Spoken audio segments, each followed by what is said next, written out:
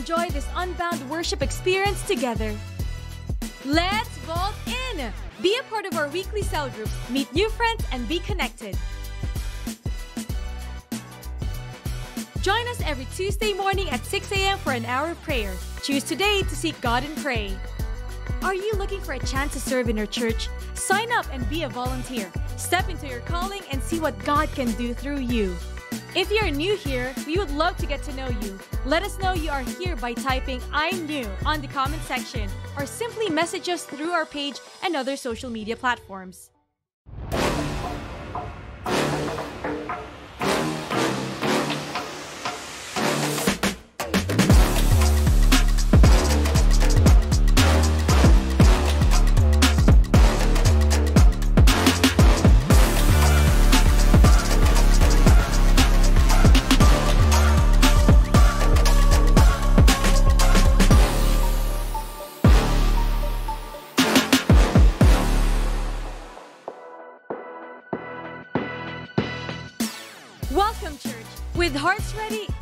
And on fire for God, let us enjoy this unbound worship experience together.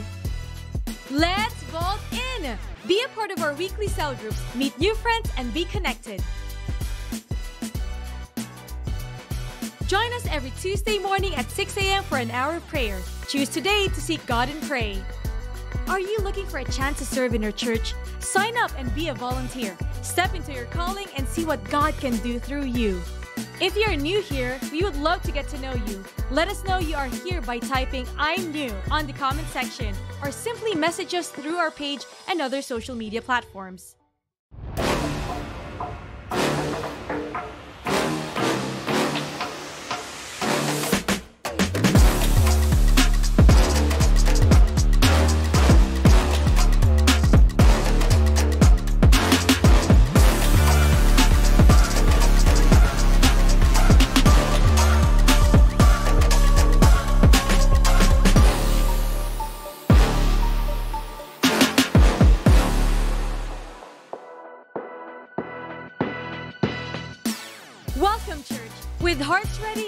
Open, and on fire for God, let us enjoy this unbound worship experience together.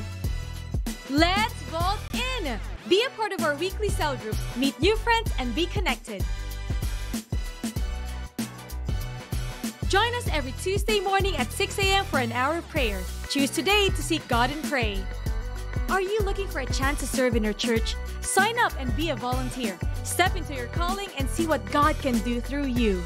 If you're new here, we would love to get to know you. Let us know you are here by typing I'm new on the comment section or simply message us through our page and other social media platforms.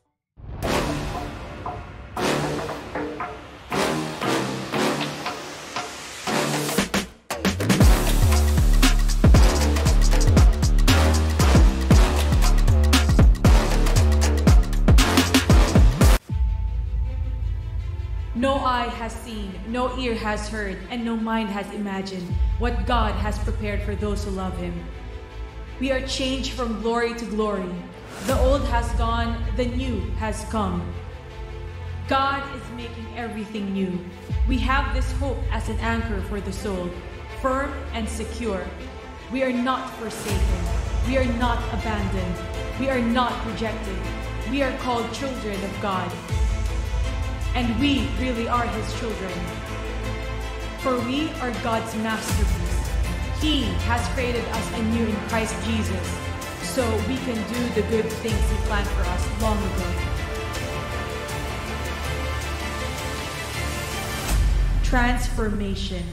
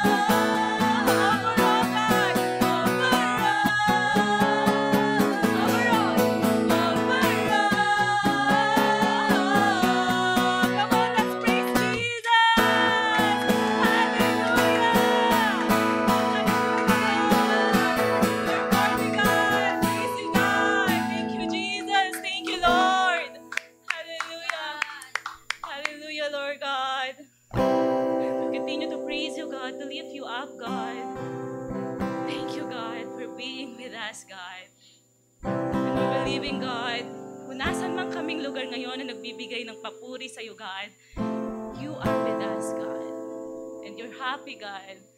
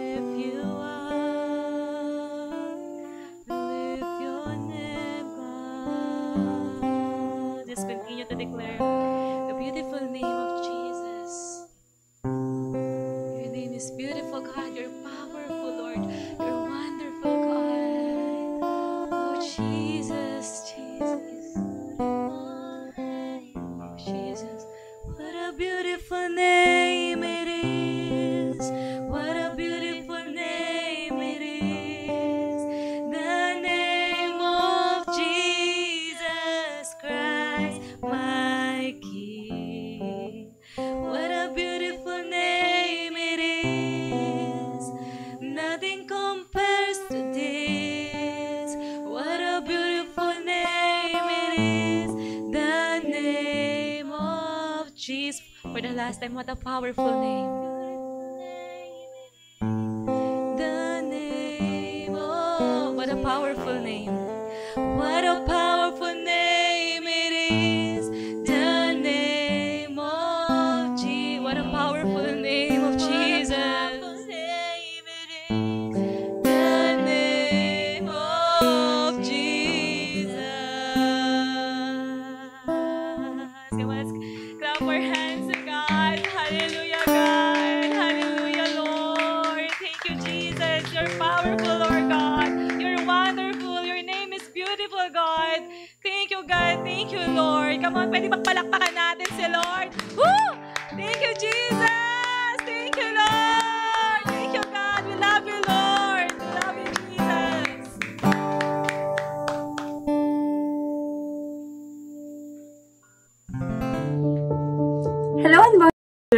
Is Judine and I'm here to share about giving. Giving is not all about the money kung magkano po yung ibibigay mo kay Lord, pero kung ano po yung nilalaman ng heart mo pagdating po kay Lord. Amen po. Um, na-experience nyo na po ba yung work ka ng work, overtime ka ng overtime, tapos pagdating po ng payday mo or nung sahod mo, ubos na or kumbaga, kompyutado mo na yung sahod mo. Tapos magugulat ka na lang may darating na tao na para i-bless ka. Amen? Um, I want to share Luke 5 verse 4 to 7. When he had finished speaking, he said to Simon, Put out into deep water and let down the nets for a catch.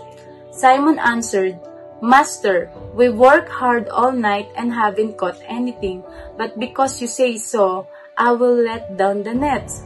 Ito po yung pinaka-exciting part sa Bible story po na to, or Bible verse. Sabi po is, When they had done so, they caught such a large number of fish that their nets began to break. So they signaled their partners in the other boat to come and help them. And they came and filled both boats so full that they began to sink.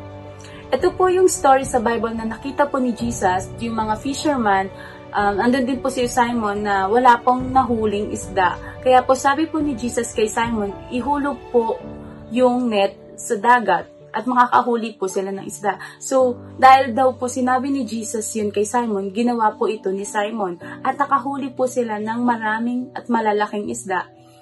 Para, para pong sa pagbibigay natin kay Lord, um, paano ka makakaani kung hindi ka naman nagtatanim kay Lord? Amen?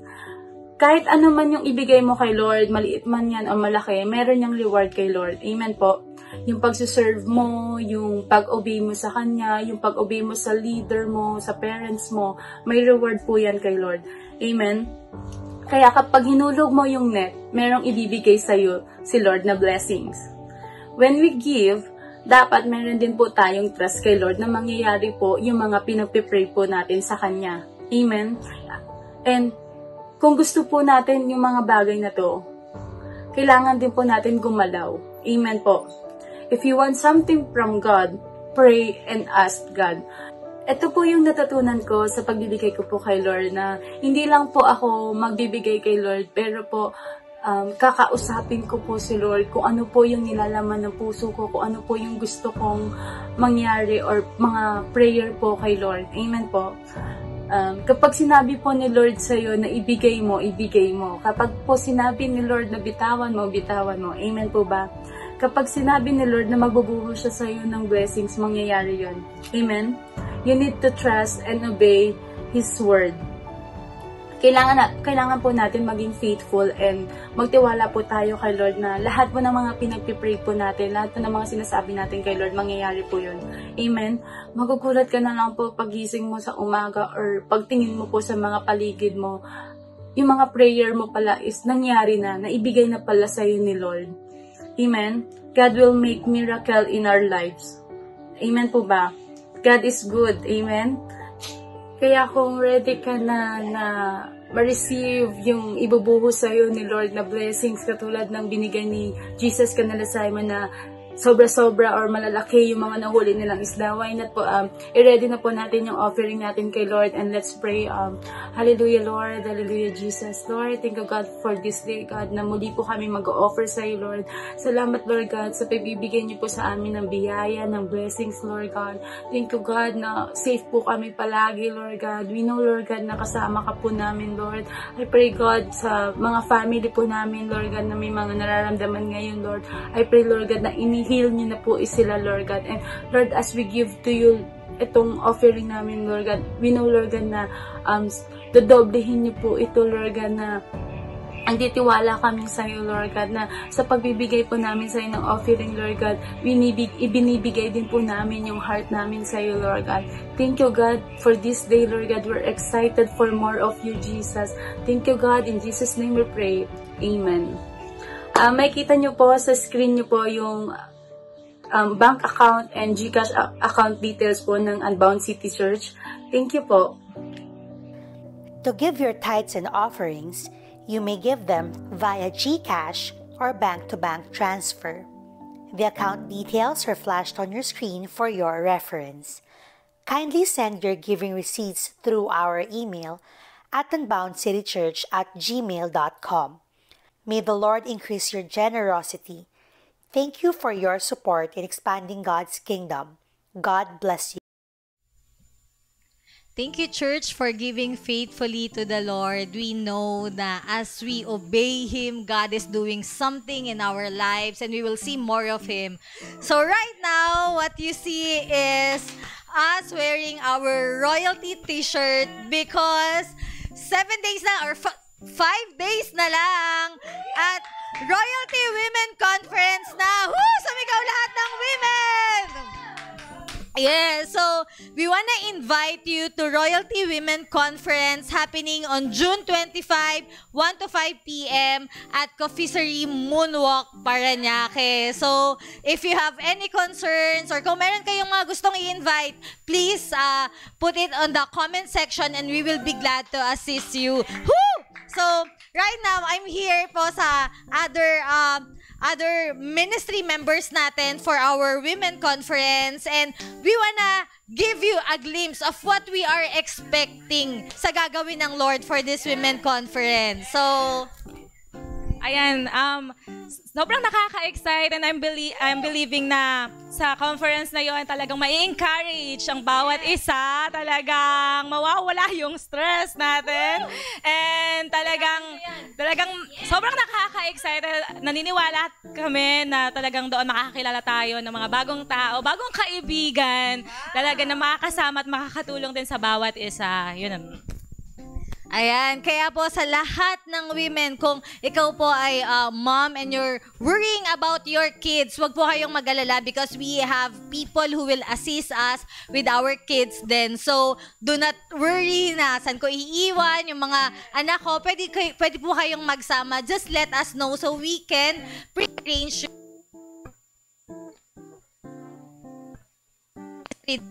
Ayan, so let's go for Ate Reg naman. What do you expect sa ating women conference?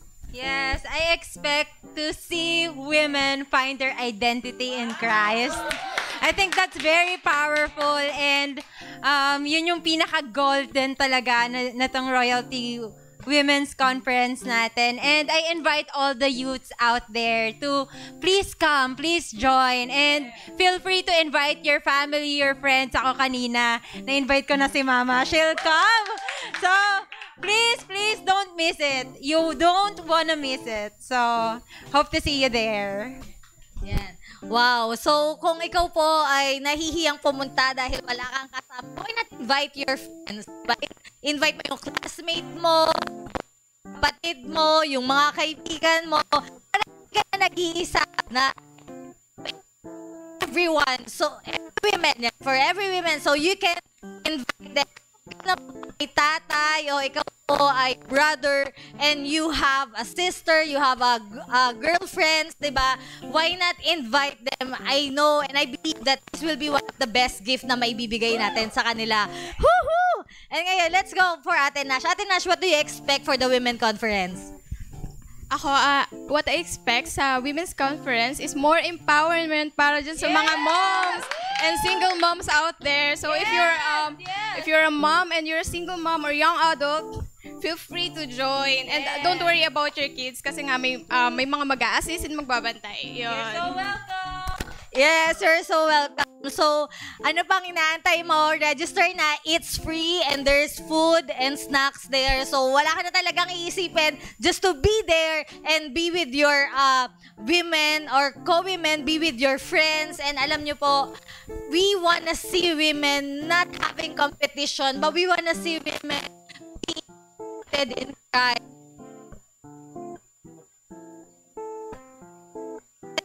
Everyone.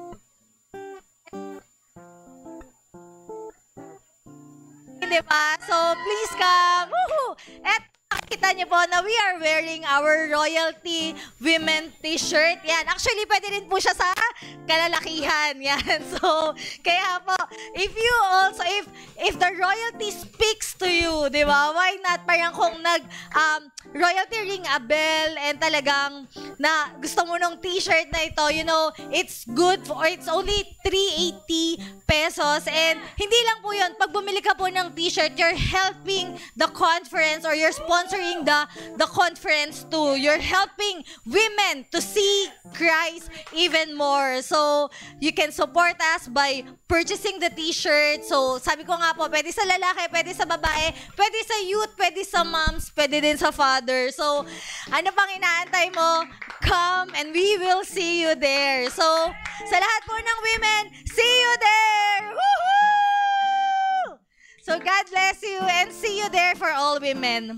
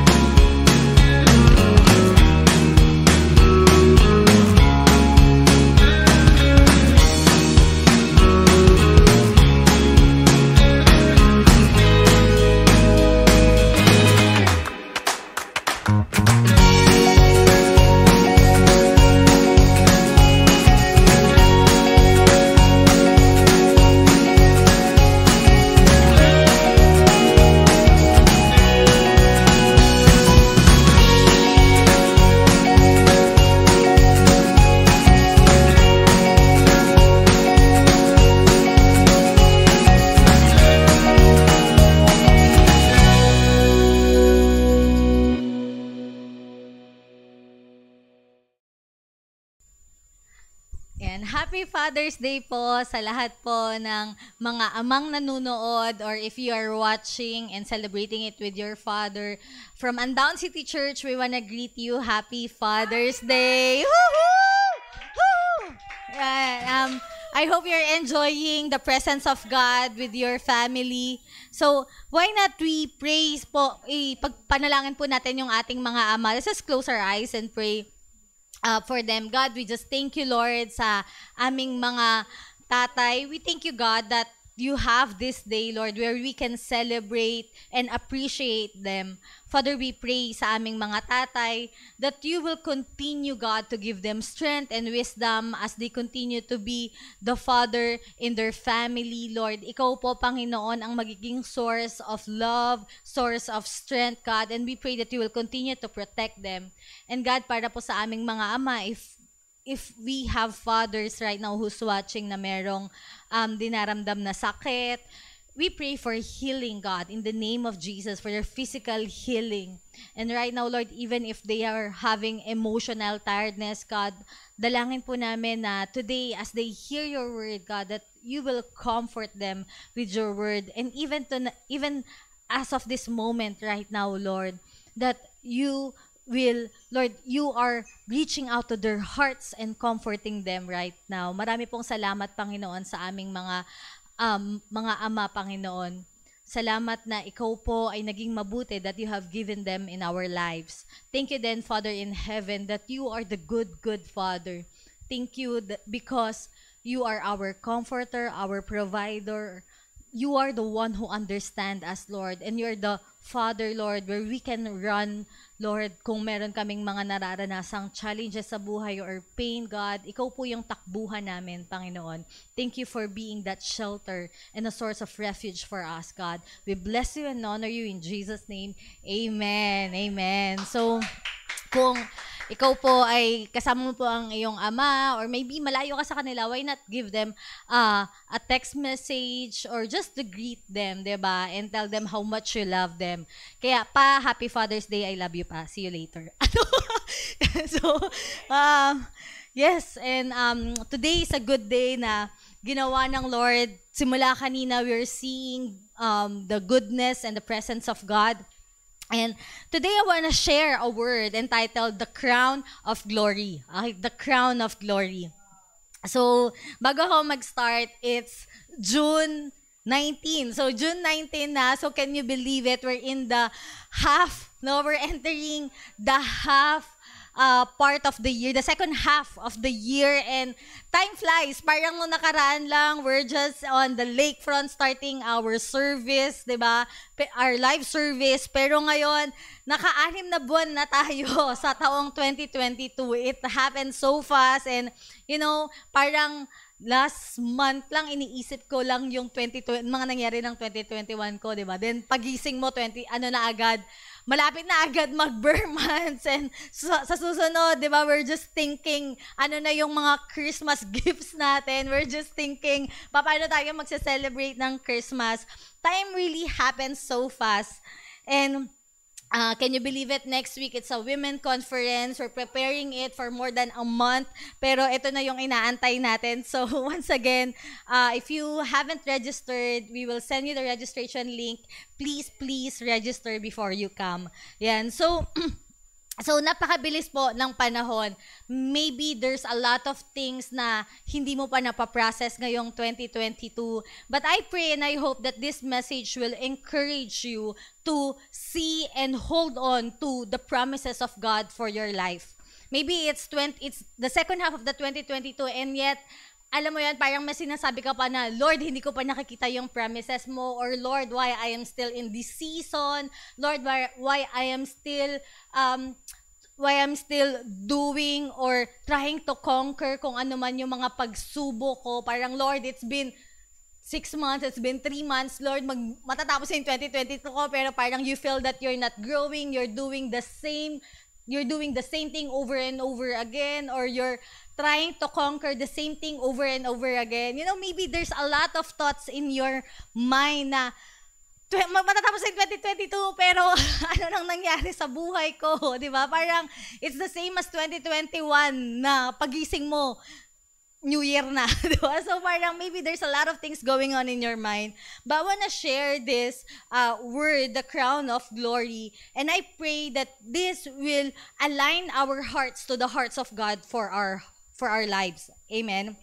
Amen. So, I want to share from Isaiah 28, verse 5. So, verse 5 to 6 muna ako. So, sabi dito, In that day, the Lord of hosts will be a crown of glory and a diadem of beauty to the remnant of his people, and a spirit of justice to him who sits in judgment. So, um, ano lang nga, kanina kasi you're seeing us wearing a t-shirt royalty, and there's this verse, Isaiah 62 verse 5. So, or Isaiah 62 verse verse 3 something like that um i think um I think that verse also speaks of the glory of God and us being a diadem of beauty. Pero medyo dito sa 5 sa Isaiah 28 verse 5 to 6, medyo iba yung ano niya, medyo iba yung sinasabi niya. So sabi po dito, ulitin ko, in that day, the Lord of hosts will be a crown of glory and a diadem of beauty to the remnant of his people and a spirit of justice to him who sits in judgment. So this will be our main text for today. I wanna give you kung ano ba yung story nito. Simulan natin sa Isaiah chapter 28 verse 1 to 4. Okay, bago po yung 5 to 6 na yon. Okay, sabi po dito, at the pra- Ah, the proud crown of the drunkards of Ephraim and the fading flower of its glorious beauty, which is on the head of the rich valley of those overcome with wine. Behold, the Lord has one who is mighty and strong, like a storm of hail, a destroying tempest, like a storm of mighty overflowing waters, he cast down to the earth with his hand. The proud crown of the drunkards of Ephraim will be trodden underfoot and the fading flower of its glorious beauty, which is on the head of the rich valley, will be like a first ripe fig before the summer. When someone sees it, he swallows it as soon as it is in his hand. In verse 5 to 6, in the day, in that day, the Lord of hosts will be a crown of glory and a diadem of beauty to the remnant of his people and a spirit of justice to him who sits in judgment. So, kung mapapansin nyo, no, yung Isaiah 1 to 4, parang, ah, Lord, medyo hard ka naman dito. Pero pagdating ng 5, 5 to 6, verse 5 to 6, there's this promise of God for us. So, ano po ba yung story nito? So, The title nitong chapter na to is Judgment on Ephraim and Jerusalem. So this Ephraim and Jerusalem, ito po yung mga panahon that God has blessed them. God has blessed them with riches, God has blessed them with resource na talagang ine-enjoy nila. But then, because of this, or etong riches na nararamdaman nila or nararanasan nila, na binigay sa kanila ng Lord, instead of putting their confidence to the Lord, they took pride on what they have. They put their confidence on the riches that they are experiencing and they were drunk with wine. They were proud. Sabi nga doon eh, the, uh, the proud crown of the drunkards of Ephraim. So parang ang hard. But because they pride on what they have rather than the source of what they have. That's why nagkaroon po ng prophecy. So this Isaiah 28 is a prophecy na because you trust in your riches, because you trust in your wine, kasi po ng mga panahon na to, ang, ang lugar po ng Ephraim and Jerusalem, they were um they they were on the top talagang ano po sila, they they have resources, they enjoying their lives. Alam mo 'yan minsan pag yung bank account mo talagang healthy, alam mo 'yon, parang minsan madaling makalimot to the source of life no so parang nung mga panahon po nila they were enjoying what they have that they forgot who had given them what they have who had given them the ability to produce what they have so they were trying to celebrate what they have without God. And they were trying to put their hope dun sa mga riches na meron sila and they turn away from God. That's why Israel or that's why Isaiah prophesied this verse 28, 1 to 4. Kaya po sabi doon eh, tatanggalin ko yung beauty mo, the fading flower of its glorious beauty, which is on the head of the rich valley of those overcome with wine. They were overcome with wine. Maybe they were they were partying, maybe they were drunk all day, 'di ba? Maybe they were trying to just focus on, you know, ha- having the pleasures in life. Kaya po, kaya po nag-prophesy si Isaiah or he had received this word from the Lord na ito yung mangyayari because you didn't trust in the Lord because you focus on other things rather than on God. But the verse 5 to 6 really speaks to my heart kasi sabi doon eh, kahit na yung 1 to 4 pro, uh, Isaiah was prophesying na ito yung gaga, ito yung judgment na kakaharapin nyo. But the 5 and 6 brings the mercy of God to them. Sabi po doon, in that day, the Lord of hosts will be a crown of glory and a diadem of beauty to the remnant of His people. So there's this word that Isaiah had given for those who trust in the Lord. Kasi sabi doon eh, to the remnant of His people, yung mga taong nagstay in the presence of God, nagstay trusting in the Lord rather than what the life has offering to them, they will experience the mercy and the promises of God in their lives. So ang sarap po no, no yung parang hindi minsan uh, nakikita natin or may mga tao na they faith their their faith were being were waver or nagwaver yung faith nila because of the challenges na kinaharap nila because of the pain and suffering. But there are also people who whose faith had fade away because of the riches of life. Alam mo yon may mga ganun eh. So it's really where are where where do you focus? Where do you go to na talagang nagmamatters whether you are in a high or low seasons of your life. Sa kanino mo ba inilalagay yung tiwala mo? Amen? So, I wanna, I wanna share this uh, th- this word entitled the crown of glory because I believe God has promised for us. God has promised us to experience this, to experience Him. So for us, how are we going to see the crown of glory in our lives? Kasi po sabi doon eh, kung babalikan natin yung Isaiah 5 to 6, or sabi doon na hindi lahat, it's those who are going to receive this crown of glory, it's for the remnant of His people. Yung mga tao lang ng Diyos, yung mga nagtiwala at nag-persevere until the end for the Lord. So mamaya I'm gonna share this. What does it mean when we we we talk about the crown of glory? So number one, how to see the crown of glory in in our lives. Number one, trust in the Lord's perfect timing for His promises. Okay, trust in the Lord's perfect timing for His promises. Balik tayo sa Isaiah 55, or Isaiah 28 verse 5. Sabi doon, in that day, the Lord of hosts. So, may kita mo yung phrase na in that day, merong specific time that Isaiah is prophesying na sa araw na to, sa oras na to, God will do this. God will do this and this. So there's this timeline from the Lord. Ibig sabihin, si Lord, hindi lang siya magbibigay, ah, eto si Maricar mabait na, ibibigay ko na yung promises ko. Hindi ganon. Hindi ganon.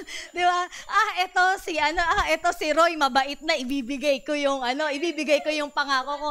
So, hindi lang siya according to you. Hindi lang siya according to your behavior. That, but there is a specific timeline that God has, um, that God has allotted na sa oras na to, dito mangyayari yung pangako ko. Hindi lang siya, ah, nakikita ko si Rutsel parang ano na, sobrang nahihirapan na, so I'm gonna give these promises to him. No way, merong mga, minsan, ano, God is, God is faithful, but also God has His own timeline, you know, and God's timeline for us is always the best for us. God's timeline for us is always the best you know, our desired timeline may not be aligned in God's timeline, but, but but between your desired time versus God's plan, His timing is the best and even better. Amen. He may not answer it according to how we want it, but He will surely answer it according to what's best for us because He is that good. Amen. He is that good. So may kita mo no minsan no tayo kino-compare natin yung ano, kino-compare natin yung timeline natin versus timeline nila na parang bakit sila 24 pa lang kasal na? Bakit ako? 'di ba 38 na ano pa rin. Alam mo yun minsan we're looking to the other's timeline when while you know while looking while, while comparing our timeline to them we forgot that there is timeline that God has for us. That there is plan that God has for us 'di ba bakit siya at 20 at, at 20 years old may ano na 'di ba may house and lot na, may kotse pa, brand new, di ba? Bakit ako, di ba? 10 years na ako sa work ko, pero ito pa rin yung nararamdaman ko, ito pa rin yung nararanasan ko, ito pa rin yung mga, ito pa rin ako paulit-ulit sa mga bagay that I'm trying to conquer. You know, stop looking to the timeline of others because God has His own plan for your life, and it may not be the same as them, but it will be surely for your good. Amen? Just look at the trees or look at the fruits. Alam niyo po ba na ang ang ang timeline po or ang ang oras para magbunga ng apple ay different for for comparing to the orange trees. So sometimes orange trees before they bear fruit, it will take them or it will took them mga 8 to 9 years Pero ang apple, isang taon lang. Alam mo yon may mga ganong mga comparison, but they they are different trees. They are different, uh, they have different roots. So we cannot compare them na, ano ba tong orange tree, napakabagal, hindi katulad nitong apple, napaka, hindi pwedeng ganunin, di ba? Because they have their own design. They have their their own timeline. And ganun din po sa atin when you compare yourself to other people, you are missing what God has for you. Amen? Amen. So, Ecclesiastes 3 verse 1, sabi po dito, there is a time for everything and a season for every activity under the heavens. So, Ecclesiastes 3 verse 1 already inform us that there is a time for everything. Sabihin mo nga po yun, there is a time for everything.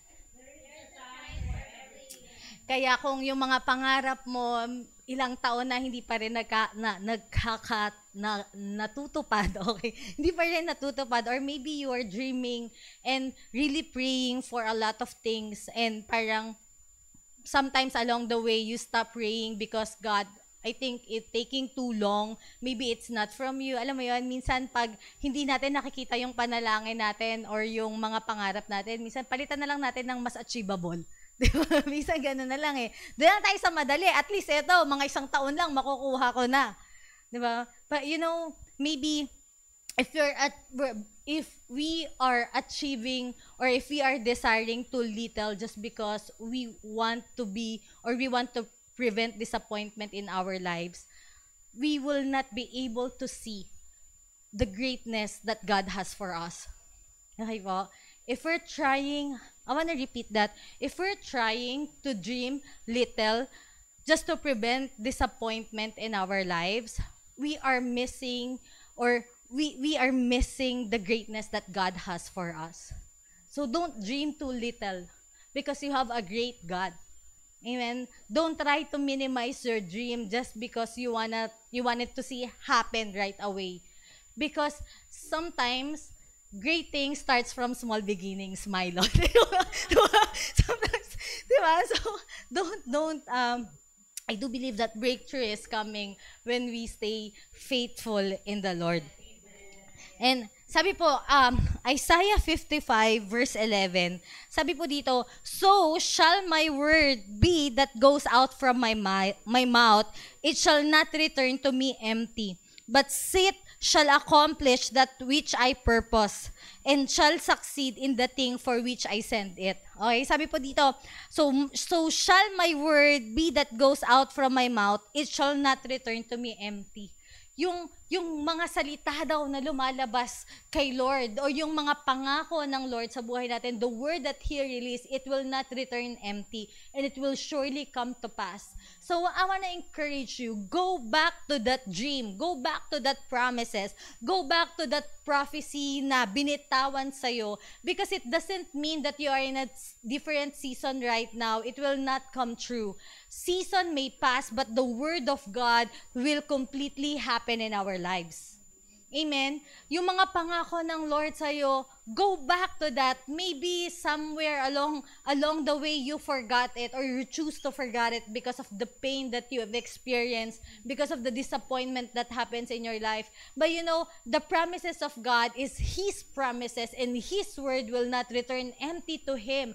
So you can go back to Him. Ka- go back to His promises to your life. Kahit nakalimutan mo yan, God will not forget it kahit na kalimutan, pilitin mong kalimutan yung mga panalangin na yan, narinig na yan ni Lord and He is faithful for you. So go back to it. Pray once again. Partner again with the Lord dun sa mga pangako mo. Maybe you failed, but you know, God will never fail us. Maybe you failed holding it or you you you you failed trying to carry it. But you know what? Maybe you failed, but God won't fail us. Amen. God will never stop fulfilling his word for our lives because he is that faithful. We will we, we may be unfaithful but God will remain faithful because that is who he is. Amen. And it cannot be changed that he is faithful. So instead of trying to condemn ourselves, I want to challenge you to stand up and pick up that dream and prayer once again and believe in the Lord. Amen. Trust again in His timing. You know, there may be challenges in the waiting, but it brings us to a deeper trust in the Lord. Amen. Sometimes talagang ang hirap pong mag-antay. Amen. Tayo nga, eh, mga late lang ng 2 minutes eh, di ba? Pinapagalitan na ako. Hindi, joke lang. late, late, me, you know, there may be a challenge in the waiting, but it brings us into deeper trust in the Lord. So, continue to trust in Him. You know, there is an invitation to trust in His timing.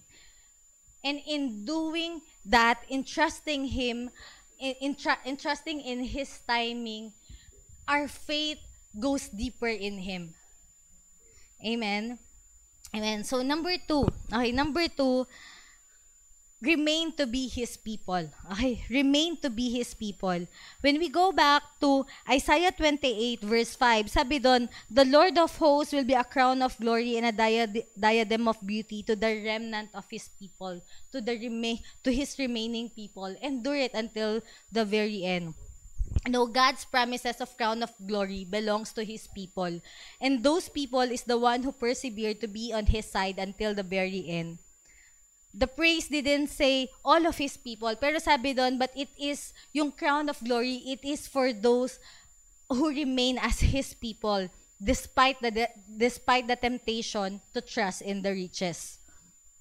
James 1 verse 12, sabi po doon, Blessed is the one who perseveres under trial, because having stood the test, that person will receive the crown of life that the Lord has promised to those who love Him. So, meron po talagang mga challenges along the way.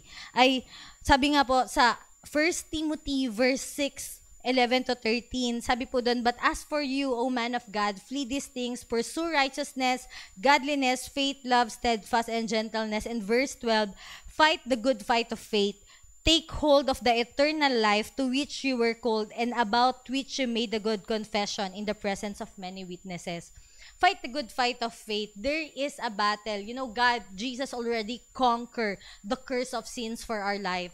But there is also a fight na kailangan natin pan, kailangan nating hawakan or kailangan natin i-conquer. It is the fight to to to continue to believe in the Lord no matter what happens in our lives. We cannot say na life is easy, 'di ba? And even kahit na Christian tayo, makikita natin parang recently there's a lot of um lot of breaks up, lahat of uh, lahat um, mga breaks ups and then issues. And then some people are questioning yung faith nila kay Lord. Some people are questioning God's faithfulness because of the breaks up because of the breakups. But then I want you to know that God is faithful. That God is faithful. And sometimes there are challenges in our lives but the Bible already told us to fight the good fight of faith Fight the good fight of faith. Ipaglaban mo yung pananampalataya mo kay Lord. Ipaglaban mo when there's a temptation to waver because of the pain and suffering that you are experiencing. Ipaglaban mo when there's this temptation to trust and enjoy the riches and forget about God. You know, ipaglaban mo yung yung pananampalataya mo. Let let the source of joy remain to be in God while also enjoying what He offers us. Amen. God wants us to be happy. God wants us to enjoy life. God promises abundance and prosperity for His people. But then, we have to continue to guard our hearts and faith to remain in the Lord. You know, sometimes when there is business of life and there's this temptation to just enjoy the pleasures of life, God is inviting us na I can give you joy, I can give you rest and abundance, but can you stay with me and trust me and trust in me? Amen. Ma, sometimes we're busy trying to make a living that we forgot the source of our lives.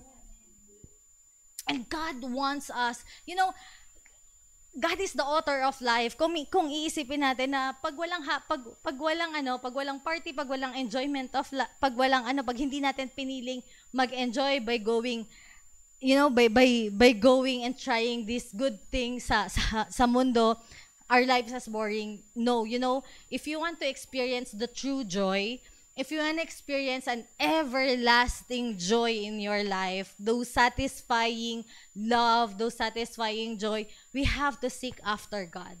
What are you seeking right now? What are you trying to pursue at this moment? Are we trying to pursue our dreams? You know, Lord, partner ka na lang sa akin ha. Ako, ako na magdadrive nitong buhay ko. Partner ka sa akin. Diba? Minsan, "Oh, Lord, ako nang bahala dito. Ano na lang, tulungan mo na lang ako sa part na to. But you know, God wants to be the leader.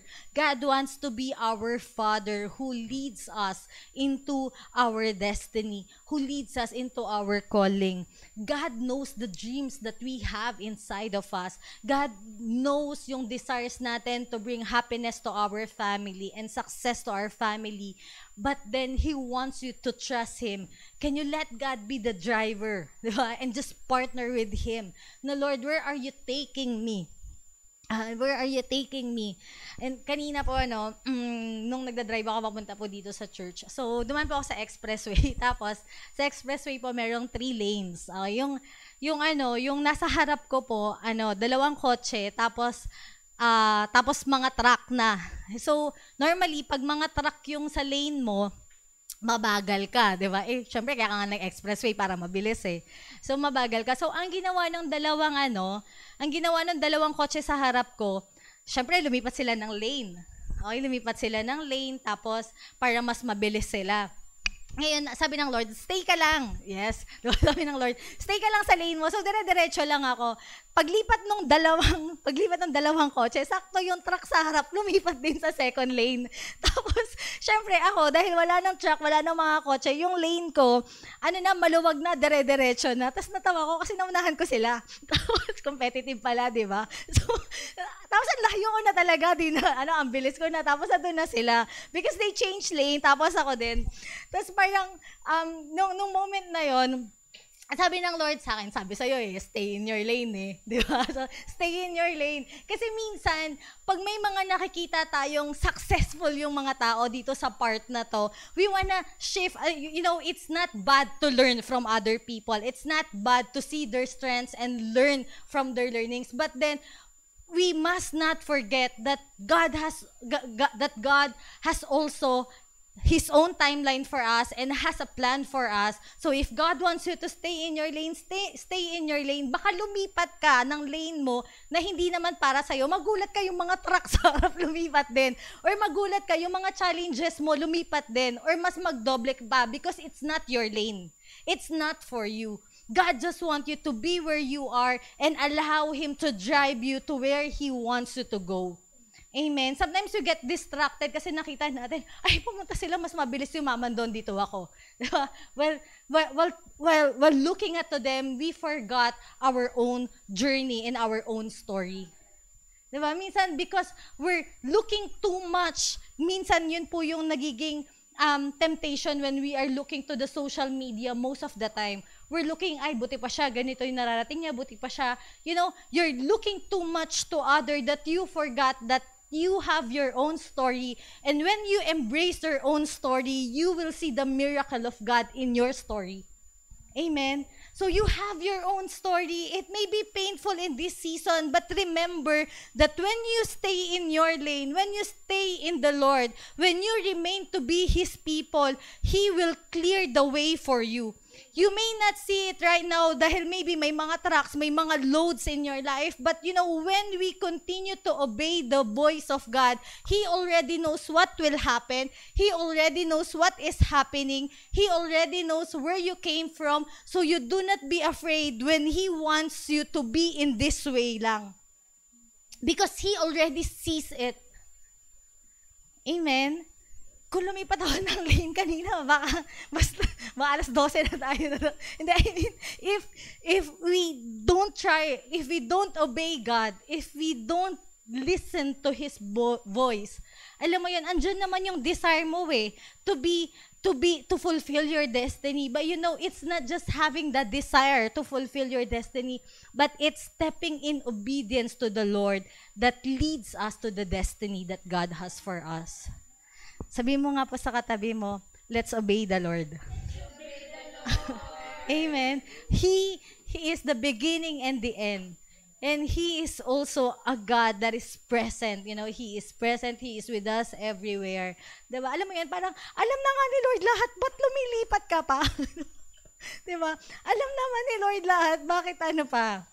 You know, sometimes may mga questions in our minds running. You can put it unto the Lord. God is not afraid of our questions. God is not afraid of our concerns. God is not afraid of the disappointments.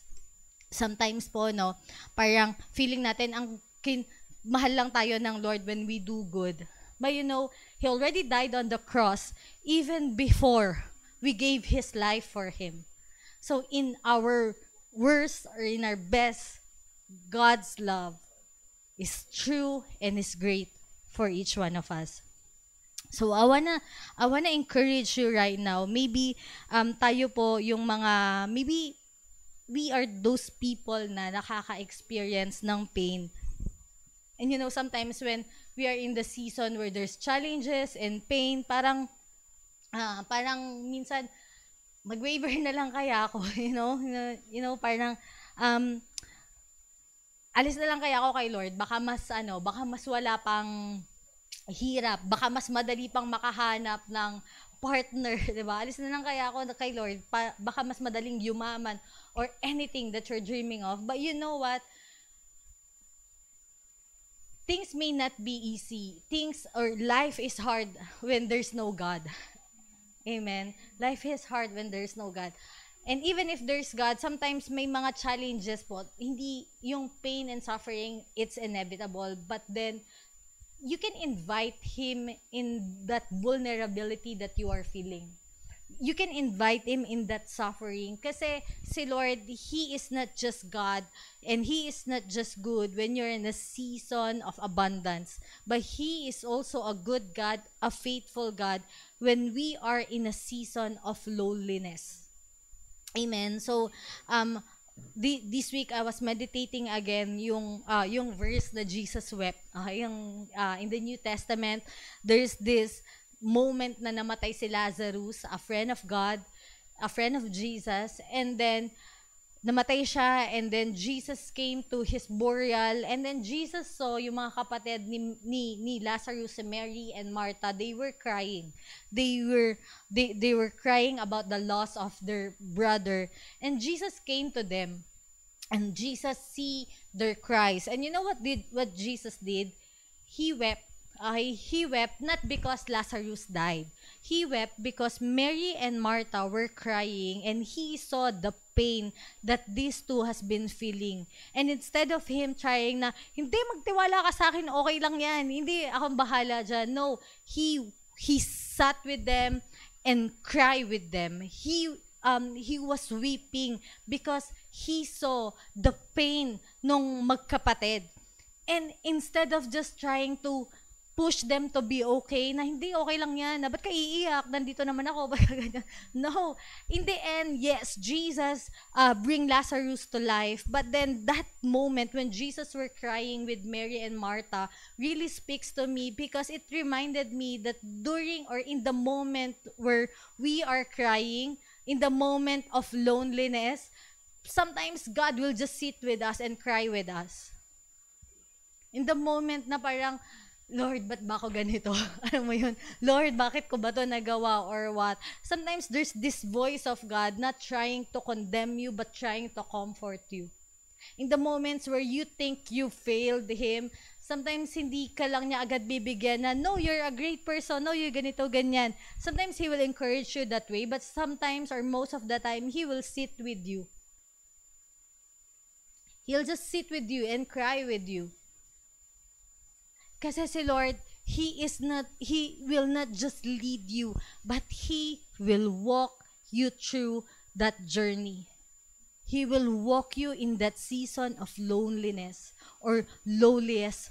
He will walk you in that season of abundance. He will enjoy life with you. When you go to the resort, enjoy Him. When you go to, when, when you go to, to just, co- to just a coffee shop, He can sit with you and talk with you. Diba? You can find him there. Sometimes when you're just cooking, he he will be with you. Kasi hindi lang si Lord pang simbahan. because He is for our lives. He is for us. He is for our daily lives. So you can invite Jesus in. You can invite Jesus in. And even if life is hard, but it will be, you know, you can conquer it with, uh, with Jesus in your side. Amen. So remain to be His people in the midst of the trials. Sometimes it's hard. You know, sometimes it's hard na, Lord, parang ano mo yun, pa- paano mo makikita yung mga pangako ng Diyos and yung goodness ng Lord when there's this track of heaviness, when there's this track of challenges, when there's this track of bills, di ba, Lord? Lord, sabi mo, magpa-provide ka, pero bakit ganito? Amen. Lord, sabi mo, magpa-provide ka, pero bakit ganyan? Diba? So, you know, mm, you can you can bring that questions to the Lord. You can make Lord sabi mo eh. 'Di ba? You can bring that, you know, because when you're bringing those things in the feet of Jesus, he will answer those things. He will show you his way. He will show you that you are not doing it alone because he's with you. So remain to be his people. Remain to be on his side through the goodness and through the bad times, or through the good times and the bad times. So remain to be in remain to be his people. That is the challenge. Eh. You know, in Isaiah 28 verse 1 to 4, the challenge for them is that the people trust in the riches. Masyado silang na-overwhelm na, oy, ang saya dito, ang daming pagkain, di ba? Ang saya dito, di ba? May party dito, may party doon. Masyado silang nag-enjoy na nakalimutan nila na magtiwala o nakalimutan nila na ang source nga pala kung bakit ako meron na ganito is si Lord. They trust in their idols. They trust in their desires. Kasi, ano na eh, nakuha na nila yung mga gusto nila eh, that they have food, an abundant food. Yung mga panahon po na yun, sabi po, they were, uh, the, yung Ephraim, yung lugar ng Ephraim in Jerusalem, they were the representative of northern, northern kingdom nung part nila because they, they have the things that they need. You know, and, and because of that, they forgot the faithfulness of God in their lives. So I, I wanna I wanna invite you in na if there's you know if there's something in your life na um because of th- those areas, those things in your life is taking you away from the Lord, maybe you have to sit down and look to God once again. Na, Lord, medyo nagiging busy na ako na I forgot about these things. Because God is not after what you can do for Him. God is not about the riches of the world, but it's, He's about your heart. You know, He had given yung mga riches na yon sa Ephraim because they He loved Him and He want to fulfill His promises to, the, to, to them.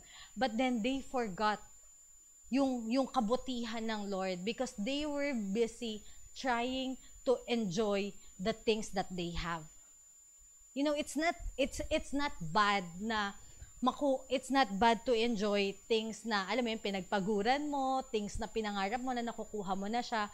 But in those those in those season of abundance never forget the one who had given you the ability to have that abundant life.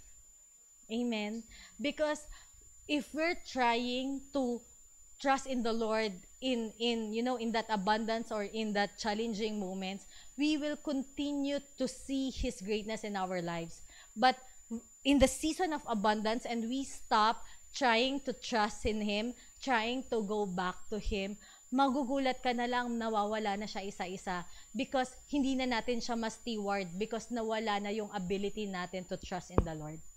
Nawala na yung ability natin to to make God the source of of what of of what we have in our lives. So I wanna I wanna I wanna encourage you to remain to be His people.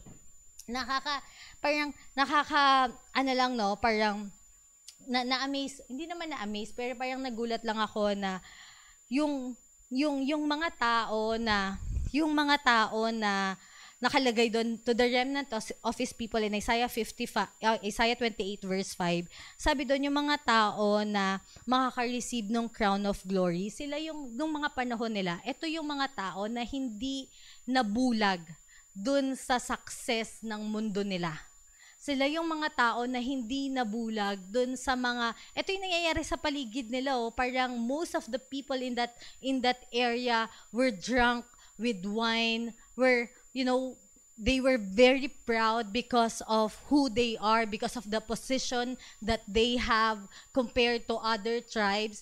They were trusting in in their positions, eh. They're trusting, and they were, you know, hindi lang sila isa, pero yung town nila.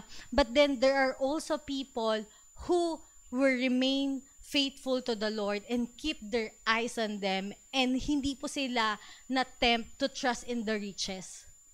So I want to encourage you. We're trying to make a living. Don't forget the source of life.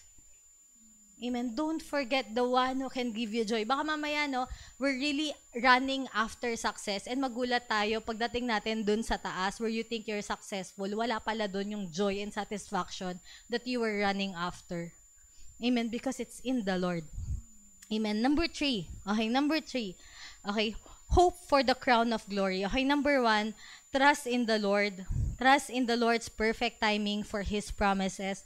Number two, remain to be His people. You know, in the good times, in the bad times, remain to be. Number, th- remain to be His people. Number three, hope for the crown of glory. Okay? Um, in Hebrews chapter 2, verse 9, sabi po dito, But we see Him for a but we see him who for a little while was made lower than the angels, namely Jesus, crowned with glory and honor because of the suffering of death, so that by the grace of God he might taste death for everyone. I want to repeat this. Hebrews chapter 2 verse 9. But we see him for a little while was made lower than the angels, namely Jesus, crowned with glory and honor because of the suffering of death, so that by the grace of God he might taste death for everyone. I, I want go back to Isaiah 28, verse 5. The Lord of hosts will be a crown of glory and a diadem of beauty to the remnant of his people. Look at this. In the Old Testament, God's promises to His people na si Lord, 'di ba? Si Lord yung magiging crown of glory mo. And Hebrews 2 verse 9, sinabi dito na the crown of glory is Jesus. He was suffered or he suffered death. He tasted death for everyone so that we can enjoy him, we can receive him for our lives. You know, the crown of glory is Jesus being in our lives, is Jesus shining his life or shining his light in our lives. The crown of glory is Jesus in us. You know, it's Jesus in us. And those who persevered, we will see that glory of God shining. Amen. Amen. So put your hope in Jesus. Remember that He already died for you, gave Himself for us. Will He not give what we desire or what we need? Jesus, from the comfort of heaven, bumaba siya. You know, He became poor so that we can be rich. He suffered so we can be free. Will He not care for what we cares? Will He not love us the way that we want to be loved? Amen? So, where are we putting our hope, 'di ba? Yung yung buhay po natin, wh- what are you, what is the end of your what is the destiny that you want for your life ba? Um dito po sa verse na to sinasabi dito na when we continue to be to remain in his people and trust in him we're gonna receive the hope of glory. We're gonna receive the crown of glory and it's Jesus in us. You know at the end of the day it's having Jesus that matters. It's having Jesus that matters in our lives. Maybe right now, people will not be able na parang to, to see you na parang maybe they won't be able to appreciate right now Jesus, but then when you carry Jesus with you, they can see what God can do in our lives.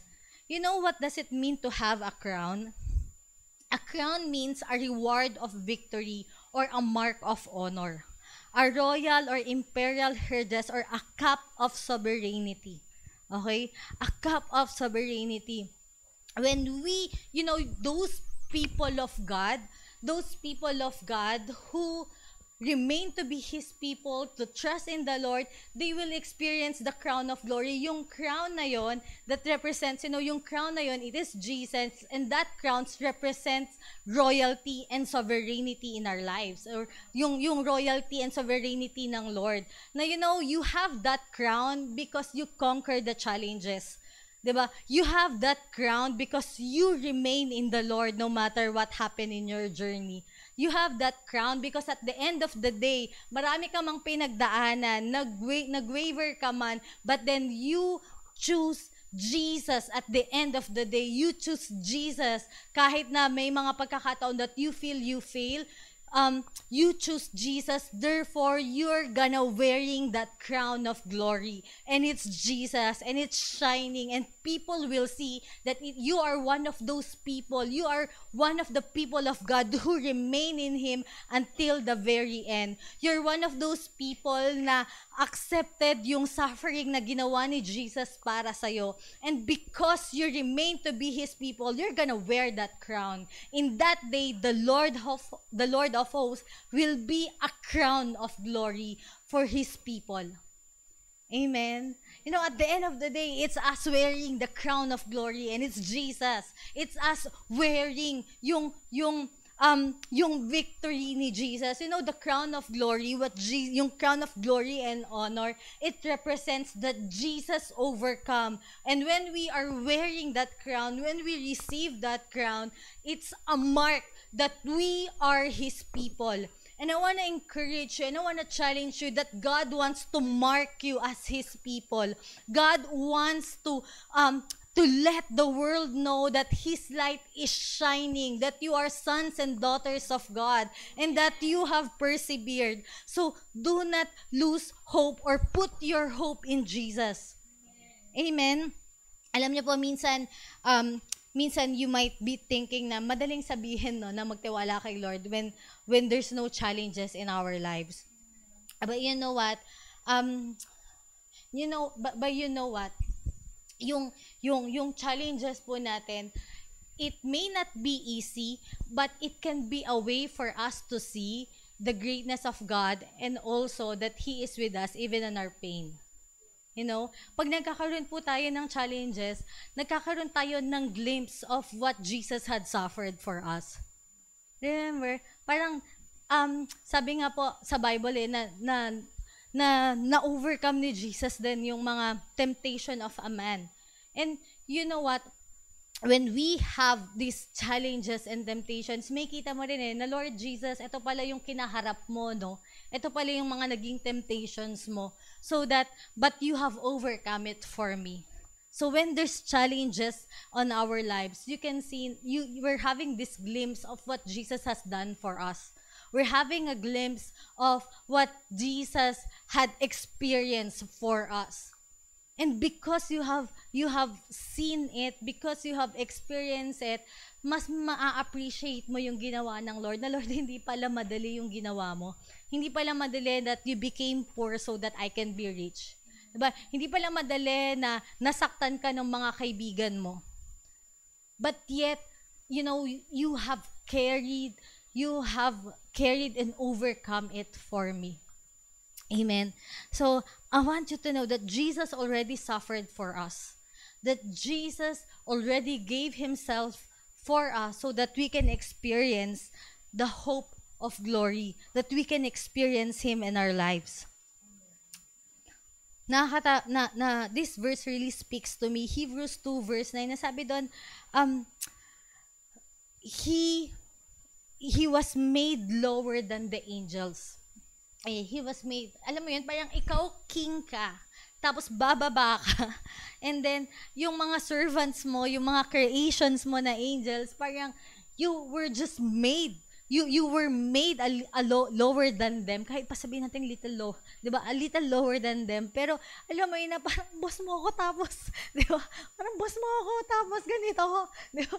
Parang boss mo ako tapos utusan mo ako. Hindi joke lang. Hindi naman siya inutusan ng angels na parang pero boss mo ako but I was made a little lower than you know that humility. You know na yung kinalimutan ng Lord or hindi kinalimutan niya yung yung pinili niya to to humble himself just for us to experience the glory of Him. Parang, parang how can be, or how, we, how, how deep is the love of God for us na yung position niya, it doesn't matter because I wanna, I wanna have you, I wanna see you, I wanna experience you. Alam mo po yun, na parang, minsan nga lang, no, when people try to give mga luxurious things or yung mga mamahalin, yan Father's Day kasi kaya ano. di ba mag ano yung pag magi-gift ka ng mamahalin, parang um yung love mo dun sa taong yon o yung maybe some, some of us yung obedience natin. Parang yung love mo sa taong yon must be deep if you want to give them yung mga um, yung mga mamahaling bagay. Di ba? Ikaw ba magbibigay ka ng isang kotse sa hindi mo kakilala or sa stranger? Or yung nagbabantay ng kotse mo dun sa parking lot. Di ka naman magbibigay ng mga uh, luxurious thing or mamahaling bagay sa kanila because or it's very rare, di ba? Or hindi ka magbibigay ng something that costs you when you don't love them deeply. Di ba? Hindi ka naman magbibigay ng Jollibee lang. Yung bibili ka, pu- yung sasadyay mo pumunta ka sa Jollibee. Tapos bibili ka ng ano, for, for that some strangers, maybe gagawin natin yon pag kawang-gawa, ganyan. Pero yung doing something, um, doing something that costs you, hindi mo gagawin yan sa isang tao unless you love them. But look what look at what Jesus did. He did not just buy something that is expensive, but he himself sacrificed yung posisyon niya sa langit, yung magiging lower than the angel siya, yung he became poor for us. He, he won't make that sacrifice un, unless there's there's a love that is so great that is in him. But, you know, think about it. Think about it. Someone will die for you. Someone will choose to sacrifice himself so that you can be free and you can have what you need in this life. Someone will sacrifice himself for you so that you can experience the comfort of the Father. Someone will die for you so that you can have that strength and partner with the Holy Spirit to fulfill His dreams for you. You know, some someone chose to give himself for you. That's why I want to encourage you or I want to share that that we can choose to put our hope in Jesus. We can hope for the crown of glory because He loves us so deeply that He gives Himself for us so that when we choose to remain in Him and trust in Him until the very end, we can experience this crown of glory. We can experience the light of Jesus and the glory of Jesus. But I wanna I want to invite you in. Could you come back once again to the Lord and partner with Him? Can you journey once again with the Lord? Because He loves it deeply that He don't want to let you go. Na even if sometimes you let go of Him, He won't stop reaching out to you. He won't stop loving you. the crown of glory, He wants His people to have it. He wants His people to experience it. So right now, I want to invite us, why not we just close our eyes?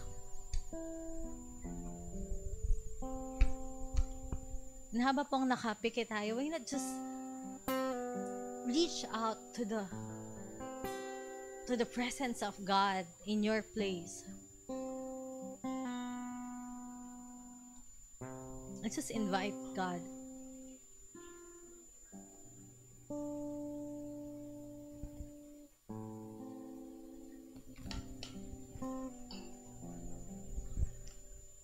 Maybe there were moments that our faith wavered.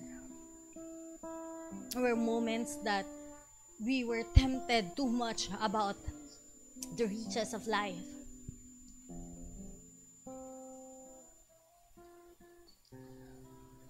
let's just continue to reach out. Continue to to seek God.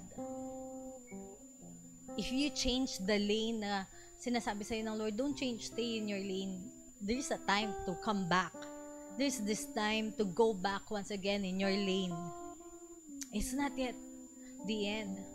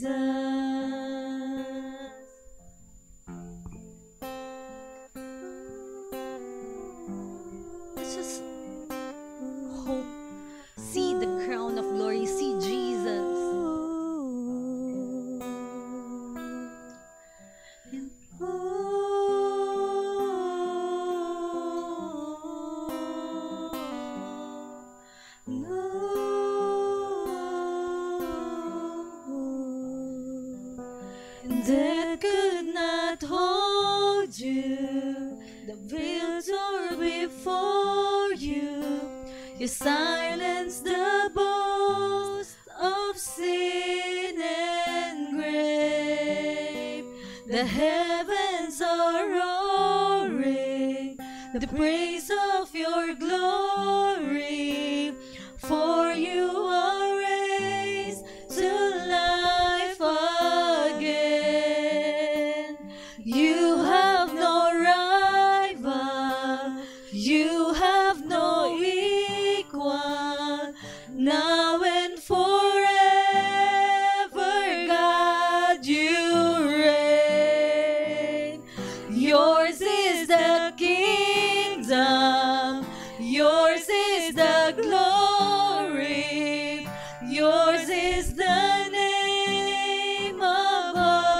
more time. Let's just come and declare this. That could not hold you. That could not hold you.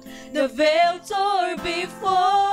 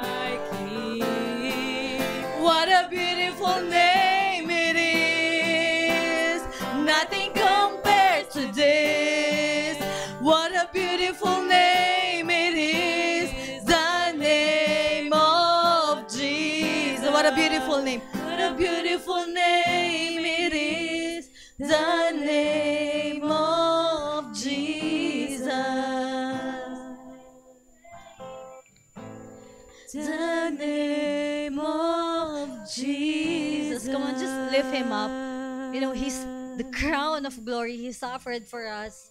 And he's worthy to be lifted high. He is worthy to be crowned through our praise. He is worthy to, to be magnified. He is worthy of all the glory, of all the honor, of all the praise.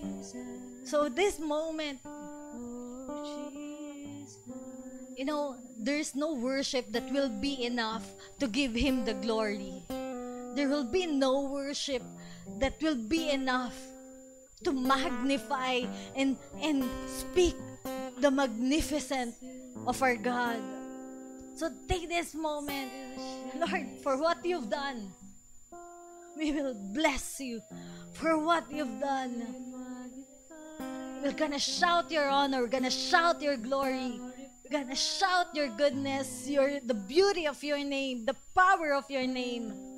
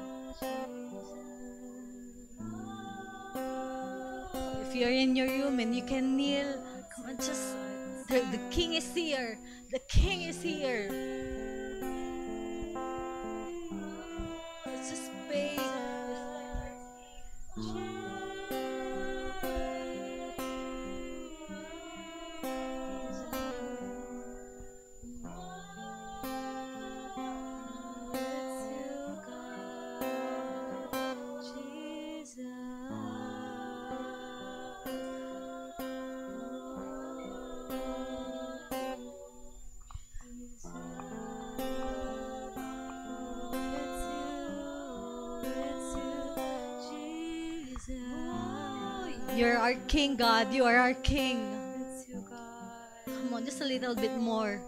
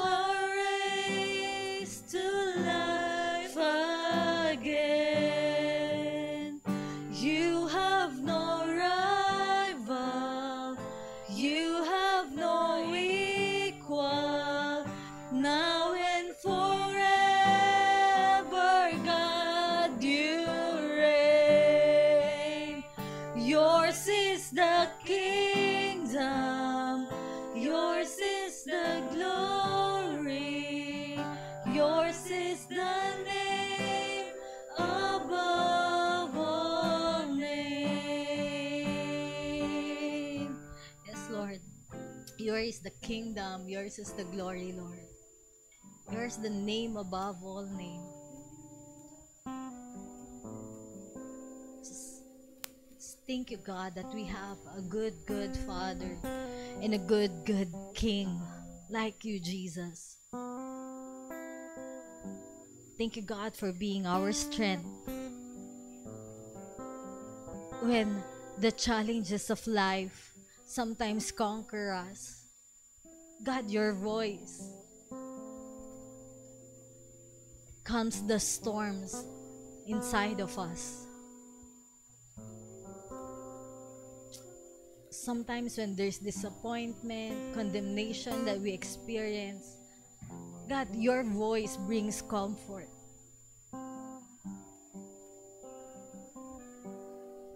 And when our hope, when we are losing our hope, God, your hand reach us.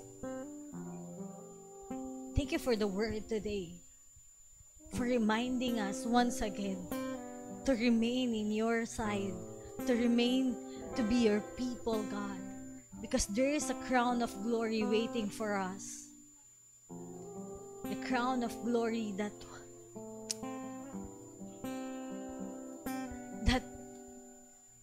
Jesus laid down for us so we can have it. Just can just we can just stop worshiping you, God. We can just stop honoring you, God, because your goodness and your spirit is here. So we thank you, God. We thank you, our King. We thank you, our good, good God. You deserve all the glory. You deserve all the praise. And right now, if you're a first timer or first time mo lang makarating sa maka-join sa service na to, I just want you to know that Jesus loves you. And He died on the cross to save us. If you're a person na feeling mo tinalikuran mo siya, this is the time that we can come back once again and confess and make Him Lord of our lives. So why not? Can you just follow me in this prayer? If you want to accept Him in your life. Dear Lord Jesus, thank you for your goodness. I accept you as my Lord and Savior. Forgive me for all of my sins. Forgive me for turning away from you. God, here's my heart. You can have it. Uh, be my Lord and Savior. Be my Lord and my Savior. I love you, God. Love you, God. Allow me to just pray for you. God, I just thank you, God, for these people who desires you, who wants you in our lives. God, bless them, Lord. I pray that as they start again this journey, they will see even more of your love and goodness, Lord. Marami pong salamat that you have promises for your people. Thank you for bringing us back to you, God. In Jesus' name we pray. Amen. Amen. Thank you for joining us in our service today. God loves you and we are unbound.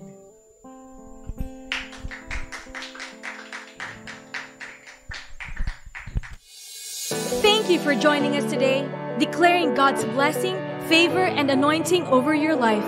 See you again next week. Unbound, the Lord is with you. Let's vault in! Be a part of our weekly cell groups, meet new friends, and be connected. Join us every Tuesday morning at 6 a.m. for an hour of prayer. Choose today to seek God in praying. Are you looking for a chance to serve in your church? Sign up and be a volunteer. Step into your calling and see what God can do through you. If you're new here, we would love to get to know you. Let us know you are here by typing I'm new on the comment section or simply message us through our page and other social media platforms. No eye has seen, no ear has heard, and no mind has imagined what God has prepared for those who love Him. We are changed from glory to glory. The old has gone, the new has come. God is making everything new. We have this hope as an anchor for the soul, firm and secure. We are not forsaken. We are not abandoned. We are not rejected. We are called children of God. And we really are His children. For we are God's masterpiece. He has created us anew in Christ Jesus, so we can do the good things He planned for us long ago. Transformation.